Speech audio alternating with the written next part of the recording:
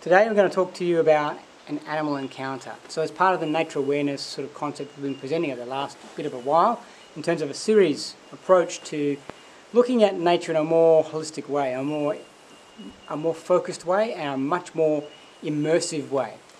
One of the things that can really, really bring you into that connection space with nature in the natural world and the ecosystems and the individuals that are within it is when you get the opportunity to have a direct nature encounter. Not with a, an animal in a zoo or your pet dog or even to some extent maybe even the birds in the backyard that you feed at a feeder. We're talking about an absolutely wild animal. Now I happen to be lucky, I'm living on a, on a rural property and actually in the middle of nowhere. So I get a lot of animal encounters. And I'm going to share one of those with you today because it's very important that you see how to interact with that stuff in a, in a, in a positive way. Because some people would look at what I'm dealing with here, which are some snakes, and see them in a very negative light. Snakes are just very misunderstood creatures. Now these guys are carpet pythons here in southeast Queensland and they're a beautiful animal. We have a lot of issues in terms of management of our livestock here because we have ducks for food as we live off the grid and one of the things that loves ducks is carpet pythons. So we're constantly just picking them up, relocating them to a further afield area in the bush and letting them go again. And that's what we're basically doing today. Okay, so I'm a qualified snake handler. A good friend of mine from many years back, a guy called Bob Cooper, um, trained me extensively when I was still living in Western Australia on how to handle snakes, all the reptile species. So unless you've got that kind of background, I highly recommend you just leave them alone. Yeah, I'm dealing with venomous snakes on occasion here, um, eastern brown snakes particularly, who are very, very angry kind of animal to deal with on some occasions. And so snakes can be rapidly go from something very benign to something very dangerous very quickly. So just respect them, give them their space, and when you understand their psychology and what's going on in their, their world, you'll start to have a much more beneficial experience with them. So when I let these guys go again here, you're going to see that the first thing they're going to do is want to just move away. That's the general thing I'd expect. Um, they might stop and assess their options and try and re reorientate themselves once they come out of the container, but they're basically going to just want to move away from what they perceive to be danger. They're also in an exposed location. So they're going to want to move to a covered location, somewhere they can feel hidden, camouflaged, and back at peace again, so that they're back in their normal. And that's what's really about learning from these snakes. We're learning what is their normal. So we're looking at the perspective from another species. And that's an incredible opportunity we get. So you can do this kind of thing with the small lizards and stuff in your backyard. Although just keep in mind that lizards have their right to be where they are as well. If for some reason you're, you're doing some gardening and you injure a small reptile or dis, dis, uh, dislodge something or move him away from his, his normal state of being, can just pick him up and move him away and you can understand what's going through his head to some extent. As best we can anyway as a human. So we can empathise with their position and what they're trying to achieve. Okay, so that's the other thing I want to pay attention to, and we're going to take some images of, are the tracks that this particular species leaves. Uh, leaves on the, on the substrate behind him. So it ties in tracking nature awareness, which is really what this is all about at the end of the day. So we're going to look at the way this particular species moves. It's a constricting python to constrictor. So it has tighter coils. If I was looking at the same tracks on the ground from something like a dugite, a taipan, or a, and a brown snake, they're a much more straight line layer of spoor on the ground. So because they're moving faster, they're much more of a run their prey down type of predator. Whereas these guys are an ambush predator. So they sit and coil and they use this constricting action of their bodies to prevent an animal from breathing any further. So every time the animal breathes out, they tighten up. Breathes out, tightens up. Breathes out, tightens up. That's their strategy for neutralizing their prey. Whereas a brown snake, for example, or any of those other species, obviously has a powerful venom that will disable its prey pretty well instantaneously. And then they consume it whole.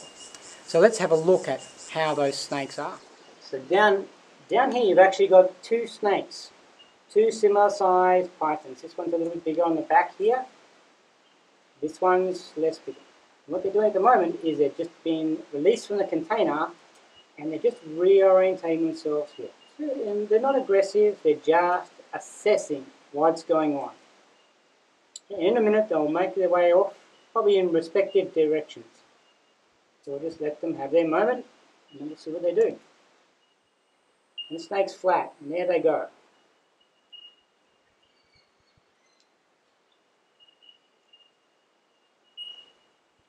Never gets old seeing them just move off back to freedom, back to doing their thing. Credible, efficient animals. Reptiles, in fact.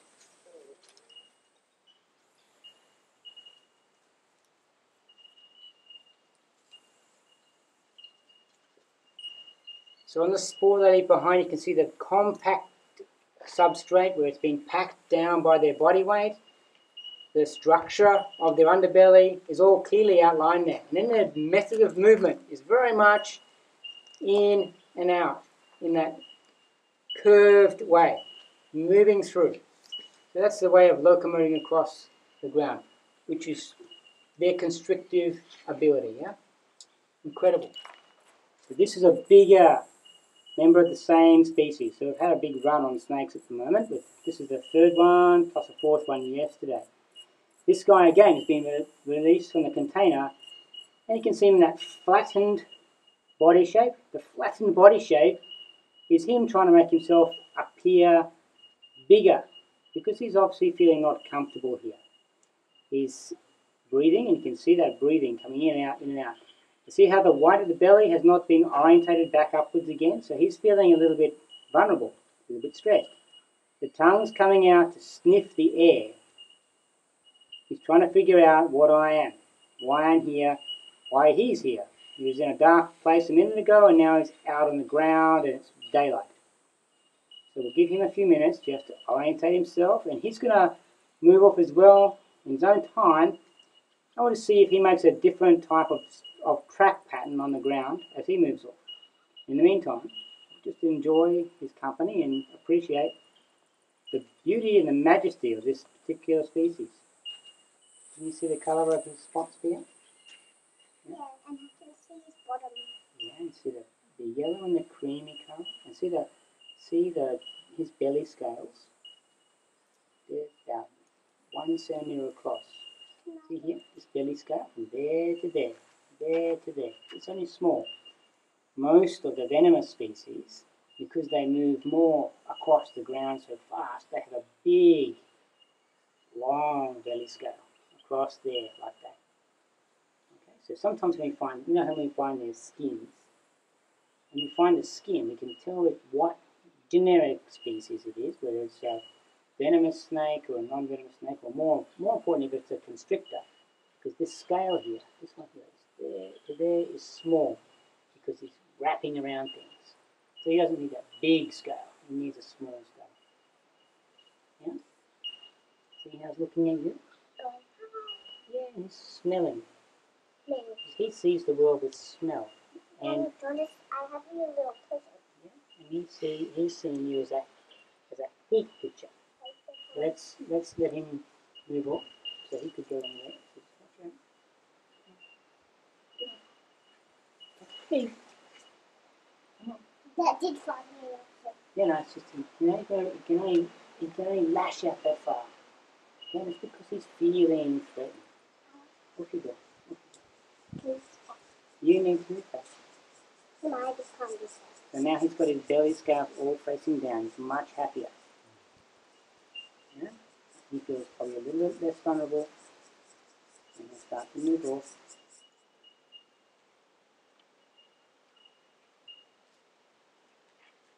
So that's that. That's one, two meters long, maybe two and a half, maybe. So how was that?